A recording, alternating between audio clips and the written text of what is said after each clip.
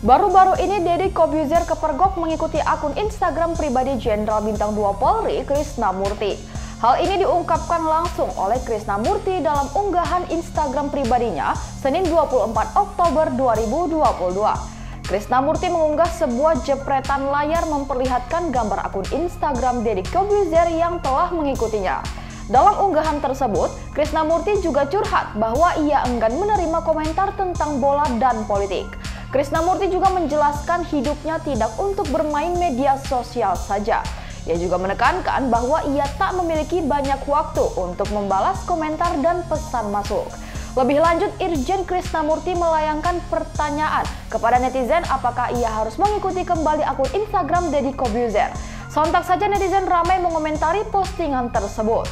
Tak sedikit yang menduga jika Deddy Kobuzer ingin mengundangnya untuk datang ke podcast di kanal YouTube pribadinya. Namun ada juga netizen yang mendukung Krisna Murti untuk mengikuti akun Instagram Deddy Kobuzer dan berharap keduanya dapat berbincang melalui podcast.